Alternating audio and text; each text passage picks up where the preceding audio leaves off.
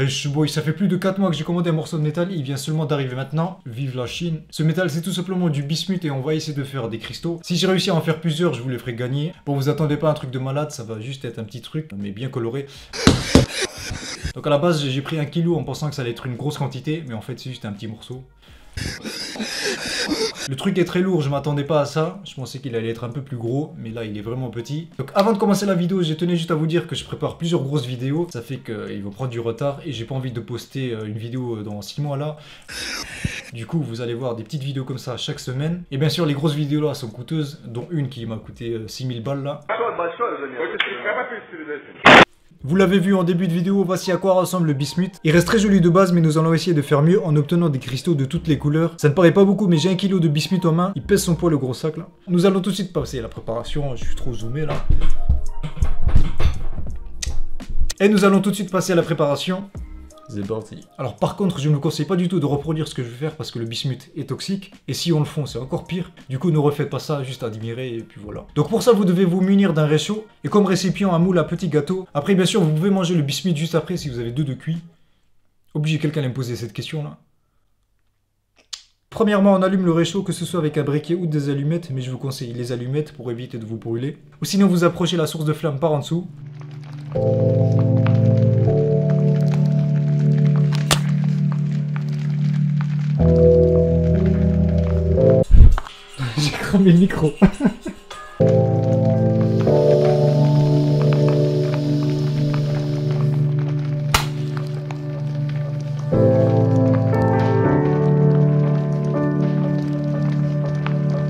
On place la plaque au-dessus et on y ajoute le bismuth.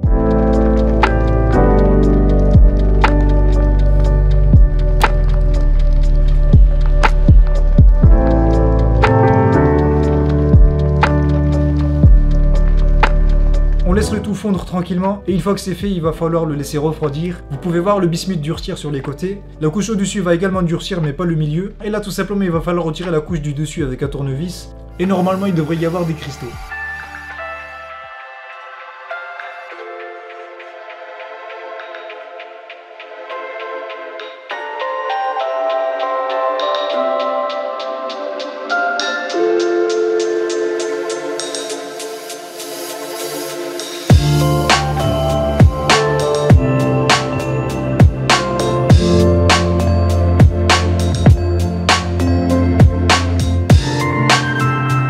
Bon après deux heures de tentative, j'ai que quelques cristaux et celui-ci est le plus gros pour l'instant. Alors on va changer de méthode, ça va toujours être la même méthode. Là je vais euh, dégager celui-ci parce que le moule est beaucoup trop petit.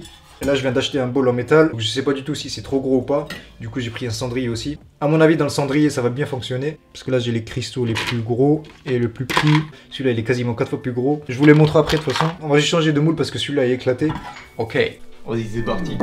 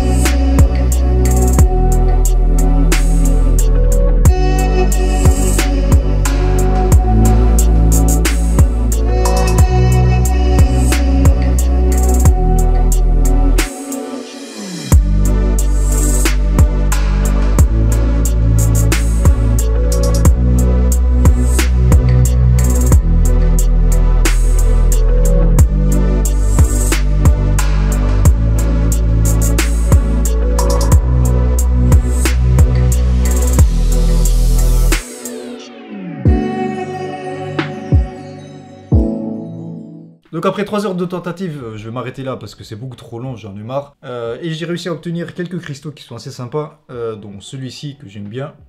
Alors celui-là il est assez fat, Alors ils sont très petits, oui. Je m'attendais à mieux, mais bon, c'est ma première fois. Donc au début, j'ai seulement réussi à avoir des petits cristaux comme celui-ci. Ils sont larges mais pas longs. Alors que celui-ci, il est bien carré, il est bien dodu.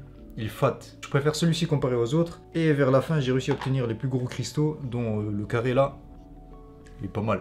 Donc il y aura 16 gagnants, je les fais donner sur euh, Instagram, du coup n'hésitez pas à me rejoindre.